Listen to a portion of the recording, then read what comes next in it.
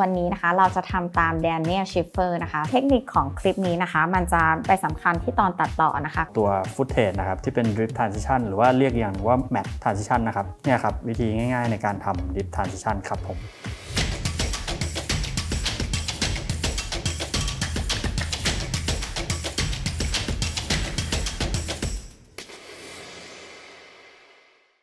สวัสดีค่ะ สำหรับ EP นี้นะคะ เรายังอยู่ใน playlist นะคะ ทำวิดีโอนะคะ ตามยูทูบเบอร์คนดังนะคะของชาวต่างชาตินะคะ ซึ่งวันนี้นะคะเราจะทำตาม Daniel Schiffer นะคะ ซึ่งเป็น filmmaker ที่มีชื่อเสียงมาก ๆนะคะ ในการทำวิดีโอโฆษณานะคะสำหรับวันนี้นะคะก็เทคนิคของที่ Daniel Schiffer ใช้นะคะ ก็คือมันเป็นอะไรที่ไม่ยากแหละเราก็เลยอยากแกะแล้วก็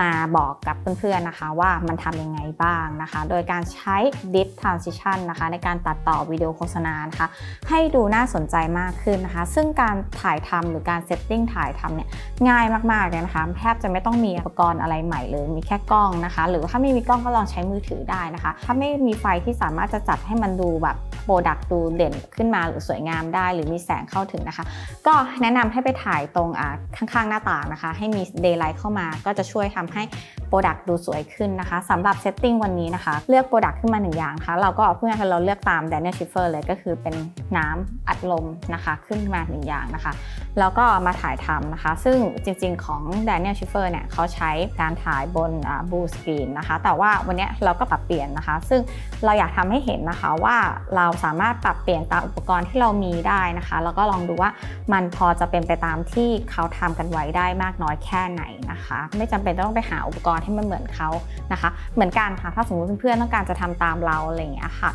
ก็หาตามอุปกรณ์ adapt ตามที่เพื่อนๆมีเลยนะคะ อย่างวันนี้เราก็ถ่ายบน background ขาวนะคะ แล้วก็เรามี turntable ที่มันแบบหมุน product ได้รอบๆนะคะ เป็นแบบไฟฟ้านะคะ ซึ่งถ้าไม่มีก็ลองใช้แบบ เอา product นะคะวางบนผ้าแล้วก็ลองหมุนด้วยมือเอา มันอาจจะไม่ smooth มากนะคะ แต่ว่าก็ไม่จำเป็นต้องไปซื้ออะไรใหม่นะคะ ซึ่ง setup มีเท่านี้ง่าย ๆ เลยค่ะ แล้วก็เพื่อเพิ่มนะคะความให้รู้สึกว่า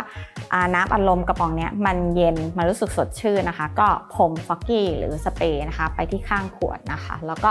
ให้ตั้งบน turntable นะคะ แล้วก็ให้มันหมุนรอบๆ แล้วเราก็เก็บภาพไปนะคะ ซึ่งเทคนิคของคลิปนี้นะคะ มันจะไปสำคัญที่ตอนตัดต่อนะคะ ก็คือการใช้ dip transition นะคะ เดี๋ยวน้องปอน DP ของเรานะคะ ก็จะมาบอกวิธีนะคะ ในการใช้ dip transition นะคะ ว่ามันสามารถทำได้ไม่ยากแบบไหนบ้างนะคะ ครับก็สำหรับในขั้นตอนของการตัดต่อนะครับ ขั้นตอนการทำ post production นะครับ เรามาเริ่มกันที่กระป๋องก่อนนะครับ พอเราได้ footage กระป๋องมาแล้วเนี่ยมีสีเหลืองกับรสชาติสีส้มนะครับ ขั้นตอนแรกนะครับ เรา footage ทั้ง 2 กระป๋องเนี่ยมาวางเป็น layer ล่างกับ layer บนนะครับโดย layer บนเนี่ยผมให้เป็น layer ของกระป๋องสีเหลืองนะครับแล้ว layer ล่างเนี่ยให้เป็นของกระป๋องสีส้มนะครับแล้วให้เราเนี่ยเทียบ timing ที่เขาหมุนให้ตรงกันนะครับวิธีเช็คง่ายๆครับใช้การแบบปิดเปิดฟุตเทจเพื่อเช็คดูว่าเวลาที่เขาหมุนไปเนี่ยเขาหมุนตรงกันหรือเปล่า แต่ส่วนมากเนี่ยจะตรงนะครับ เพราะว่าเราเนี่ยใช้อุปกรณ์ที่เป็น turntable ไฟฟ้านะครับในการหมุนนะครับก็จะทำให้สปีด ในการหมุนกระป๋องตรงนี้เนี่ยมีความคงที่นะครับแล้วเมื่อเรานำมาเทียบภาพกันดีๆเนี่ยอาจจะ different ช่วยเทียบก็ได้นะครับ เพื่อความแม่นยำนะครับ ก็จะทำให้เราเนี่ยได้speed ของกระป๋องที่ตรงกันโอเค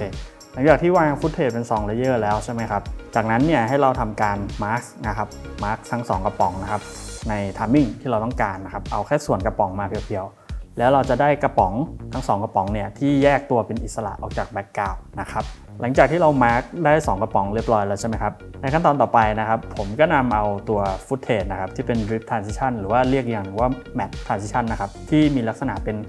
ขาวดำเนี่ยที่แบบวิ่งปาดไปมาอาจจะบนล่างหรือว่าเป็นอิสระอย่างอื่นนะครับ เป็นลักษณะเหมือนของเหลว เรานำ footage ตรงนี้เนี่ยเข้ามาวางบน footage ที่เป็นกระป๋องสีเหลืองนะครับ layer บนนะฮะจากนั้นนะครับให้เราทำการมาร์กตัวฟุตเทจ drip transition เหมือนกัน ให้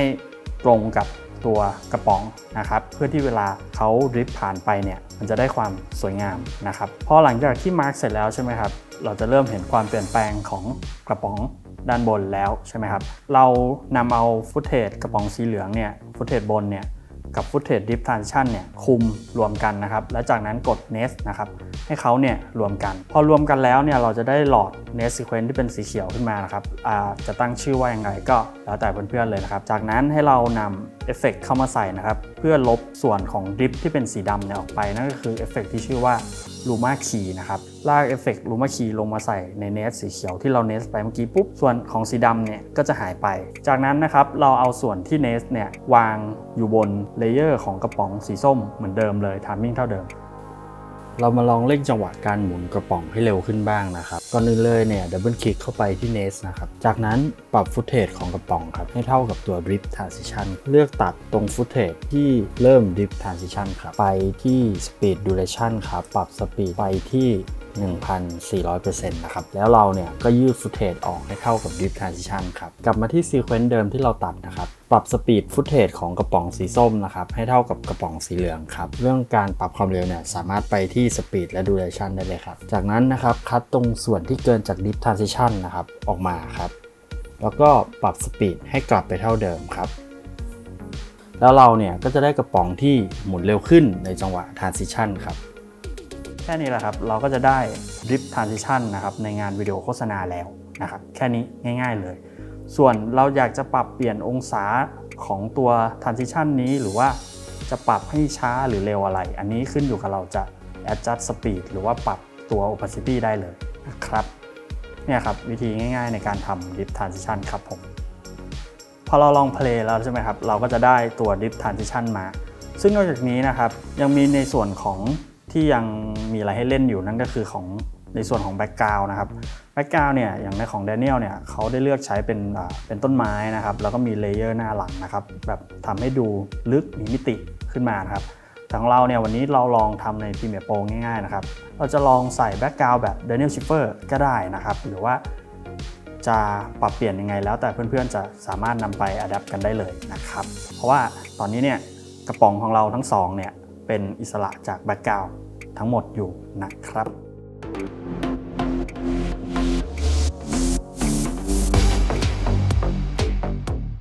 สำหรับใครที่ชอบคลิปนี้นะคะ ก็อย่าลืมกดไลค์กดแชร์และกด subscribe ให้กับช่องด้วยนะคะ ยังไงก็จะมีเทคนิคที่เกี่ยวกับการทำวิดีโอโฆษณานะคะ มาเล่าให้ฟังนะคะ ตาม playlist ต่างๆนะคะ อย่างวันนี้นะคะก็คืออยู่ใน playlist ของทำตามยูทูบเบอร์คนดังนะคะ ถ้าสมมติว่าเพื่อนๆมีใครสนสงสัยนะคะ หรือมีคำถามอะไรเพิ่มเติมนะคะ ก็สามารถคอมเมนต์ที่ใต้คลิปนี้ได้นะคะหนึ่งและทีมงานก็จะมาช่วยกันตอบค่ะ ถ้าอยากดูอะไรเพิ่มเติมที่เกี่ยวกับการทำวิดีโอโฆษณานะคะ ก็สามารถคลิกเพิ่มเติมได้เลยค่ะ